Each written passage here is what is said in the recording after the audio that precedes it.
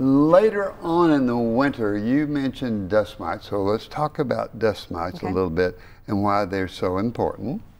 Dust mites are very important, especially in this part of the country. They're tiny little mites that live in uh, upholstered furniture, mattresses, pillows. So that's going to be a big problem in our bedrooms. We spend about a third of our day in our bedrooms and you're just lying there exposed to this all night long. The little mites, there's millions of them in your mattress, How many? at least 10 million in your mattress, How about the pillow? at least a million in your pillow. Wow, do they crawl around? Do they get up? Do they crawl on your skin? You can't see them, so they're microscopic, uh, but they do what actually causes a lot of problems is they put out little fecal pellets, and each of the little mites puts out anywhere from up to 30 fecal pellets a day, and we breathe these things in, and for people who are allergic, that causes a problem. Wow, so the pillow, the pillows are loaded with dust mite fecal droplets, and so are the mattresses. Mm-hmm. So if you lay down on your pillow and you're not allergic, does that bother you?